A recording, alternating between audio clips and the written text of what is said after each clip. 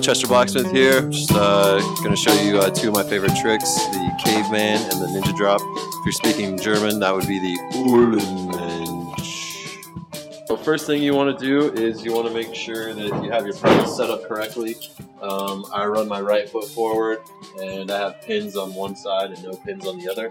So I always make sure that my bike my cranks are straight and my pedals are flat. And then you have to decide what which side you actually do the caveman on.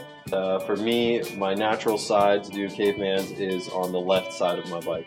So, next is a good way to learn it. If you can do it this way, you can do it almost off anything, and that's off of on flat ground. Um, and and it just kind of just goes like this.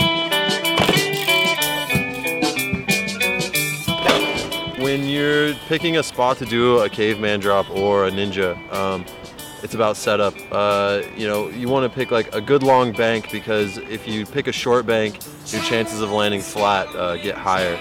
Um, I usually like to pick long banks, and um, the higher up you go, the higher you're jumping from. Uh, that that makes the bank more important that you pick.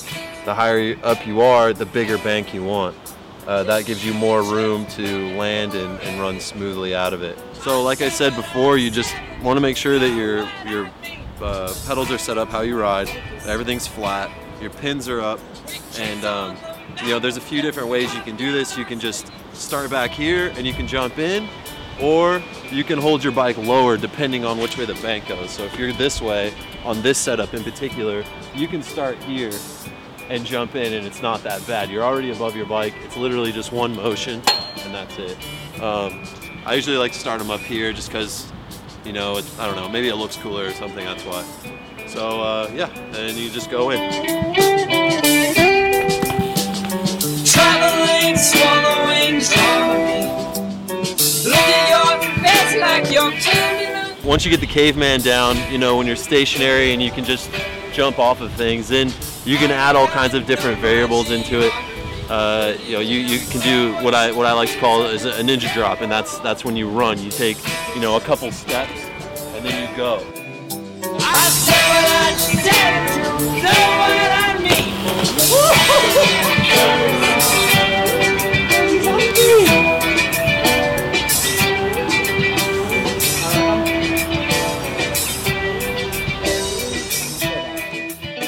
orange